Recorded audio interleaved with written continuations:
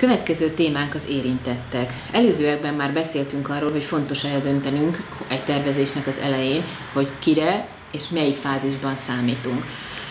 Alapvetően, ha megnézzük a tervezés folyamatát, akkor el kell döntenünk, hogy először tényeket gyűjtünk, aztán társakat, és így dolgozunk, vagy először a társakban gondolkodunk. Abban szeretnénk eh, ez alkalommal segítségét nyújtani, hogy hogyan lehet számba venni az érintetteknek a körét. Kik lehetnek az ügyünk szám, szempontjából érintettek? Minden olyan intézményt, szervezetet, csoportot, vagy magánembert, aki valamilyen igényel lép fel a közösség felé, akinek jogában áll beleszólni az adott ügyben, aki támogatóként vagy éppen ellenérzésekkel léphet fel az ügyben érintetnek tekintünk. Tehát mindenki, aki a saját bőrén közvetlenül vagy közvetetten találkozhat az ügyünkkel, illetve aki, akinek lehetősége és módja van arra, hogy befolyásolja azt.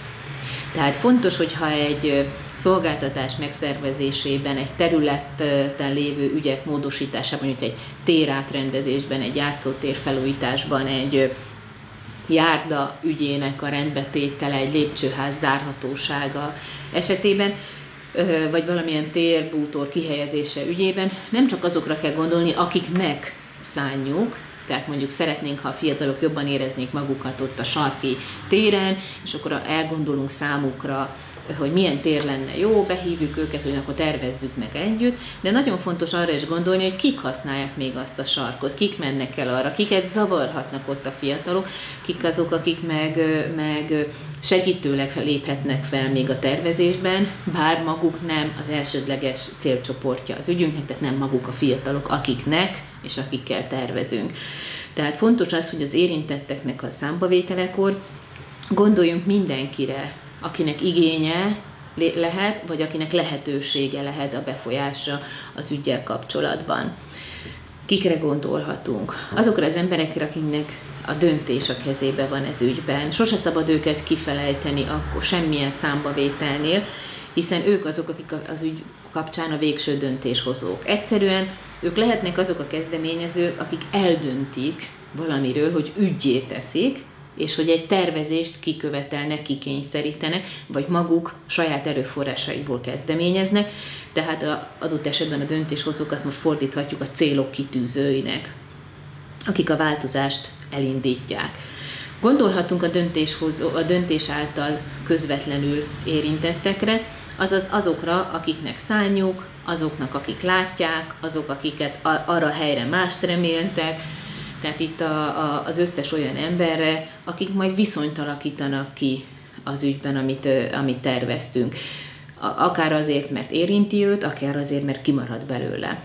És számba kell venni azokat is, akik képesek megakadályozni, vagy éppen képesek elősegíteni a döntések és a célok által kitűzötteket, nek a megvalósulását, Azaz, akiket azért nem szabad a tervezés folyamatából kihagyni, mert lehet, hogy a, a, a folyamatban való részvételükkel befolyással lehetünk rájuk, adott esetben az ellenállásukat, az ellenérzésüket csökkenthetjük, jobban megérthetik a céljainkat, az érveinket, vitában vehetnek részt, és lehet, hogy éppen nem a számukra kedvező döntés születik meg, de érteni fogják annak a hátterét, és adott esetben biztosíthatjuk őket arról, hogy egy következő időszakban tekintettel leszünk rájuk, elősz, előre, előre hozzuk azt a szükségletet, amiben ő gondolkodna.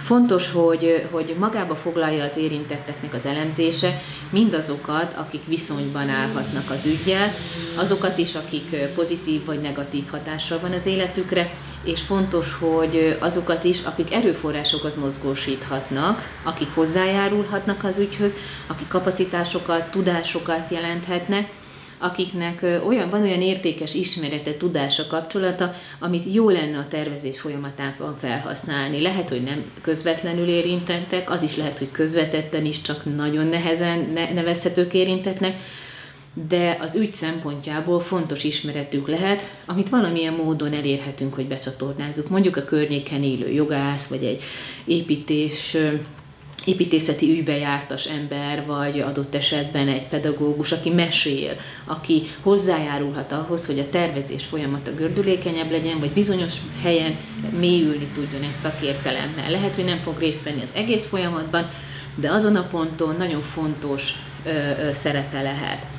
Mit kell végig gondolni, hogy kik ezek a szereplők? Ezt hosszú-hosszú listán kell erről írni, elővenni egy lapot, azon szépen végigírni, végigírni mindenkit, egyszerűen csak kilistázni. Még az elején talán nem is kell arról gondolkodni, hogy milyen ö, okból jutott az eszünkbe, csak írjunk föl minél több ilyen szereplőt. Utána akár egy kis plusz, vagy mínusz, vagy kérdőjellel mellé írhatjuk, hogy először még csak annyit, hogy tudjuk-e róla, hogy mi a hozzáállása az adott kérdésben. Támogató lesz, várhatóan az ügynek a, a, a, a serkentője, az aktivistája, ellenállója, ezt biztosan tudjuk, kérdőjel, kérdőjelet is tehetünk, hogy nem, nem ismerjük, tehát ha jól akarunk tervezni, akkor ezt előbb-utóbb meg kell tudnunk róla. És akkor egy fontos következő szempont, hogy mekkora a hatalma, befolyása az ügy felől, mekkora jelentőségű az a, az a befolyás, amivel ő ebben az ügyben lehet. Ugye itt is fontos jelezni, hogy nagy a befolyása, vagy kicsi, saját jelrendszert alkalmazhatunk, de tudjuk, hogy mire írtuk. És fontos, hogyha túl sok emberről, túl sok szereplőről nem tudjuk eldönteni, hogy mi a hozzáállása, akkor a tervezésnek ebben a szakaszában meg kell állni, és, és el kell kezdeni megtudni. Arra kell egy ilyen részt, tervet hozni, hogy vajon hogy fog kiderülni, hogy kikre számíthatunk a munkában, és kiket kell azért bevonni, hogy tájékozottak legyenek, hogy ott esetben megváltoztassuk, vagy csökkentsük a befolyását, vagy növeljük a támogatását, az ellenállását megszüntessük. Egy következő szempont lehet, hogy ugyanezekről a szereplőkről eldönteni, hogy melyik időszakban, melyik területen játszanak szerepet.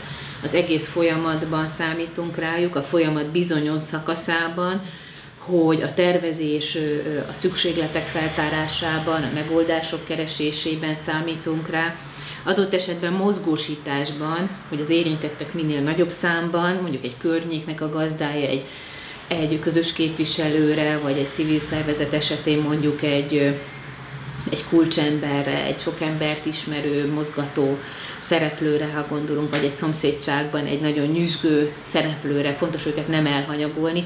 Lehet, hogy nem ők lesznek, miután amúgy is népszerűek, amúgy is sok feladatuk van, nem rájuk terhelhetjük leginkább a közösségi tervezésnek a feladatait, de, de fontos, hogy ne hagyjuk ki őket, mert hogy be tudnak hozni embereket, be tudnak hozni információt, be tudnak hozni kapcsolatot, illetve hogy az ügyünket össze tudjuk kapcsolni már folyamatban lévő, vagy más szereplők által kezdeményezett ügyekkel.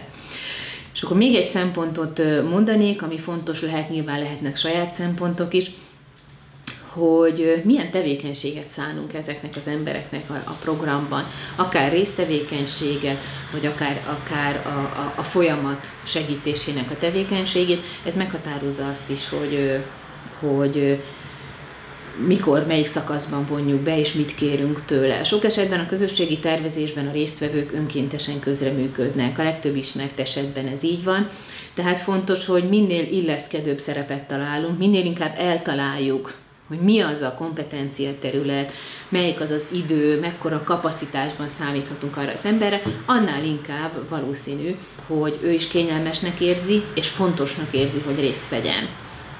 Többféle módon elrendezhetjük utána az embereket. Az egyik a mellékelt PPT meg lehet nézni néhány rendezési szempontot, hogy ebben a kilistázott, hosszú névsorral mit kezdjünk utána különböző jelek alapján. Elrendezhetjük ezt egy koordináta rendszerben, egyszerűen azt mondjuk, hogy hogy a, koordinát, a felső traktusba tesszük azokat, akik jelentős befolyással vannak, az alsóba, akik elhanyagolható hatással vannak. A pozitív oldalra tesszük azokat, akik támogatólag vannak jelen, a negatív oldalra tesszük azokat, akik, akik ellenlábasok, akik valószínűleg ellenérzésekkel lesznek. Ekkor már az érintetteinket négy nagy csoportba osztottuk. A befolyásos támogatók, a befolyásos ellenérzők, a, a kevéssé befolyásos, de támogató, akiket még föl lehetne hozni idővel, akikre lehet számítani, akik még, még behívhatók a folyamatba, és azok az emberek, akik nincsenek nagy befolyással, de valószínűleg nem jó érzéseket kelt a mi munkánk bennük, ők egy passzív, kritikus ö, csoport lehet, őket is el lehet akár a pozitív irányba, akár a befolyásukat növelve el, be lehet hívni ebbe az érdekei, az érdeklődésüket, az érdeküket föl lehet kelteni. Vagy akár készíthetünk az elmondottak alapján egy egyszerű táblázatot, amikor elrendezzük a, a, a személyeket, és a legfontosabb ismérveket berendezzük róluk, hogy mik az érdekeik, milyen készségeik vannak, mi a hozzáállásuk, milyen kapacitást ajánlottak föl. Egyszer ezzel lesz egy ilyen érintett térképünk, ami alapján el tudjuk dönteni, hogy milyen típusú tervezéssel fogunk tudni tovább menni, milyen módszereket alkalmazunk, mennyi ember és milyen módon áll a közösségi tervünknek a, a rendelkezésére.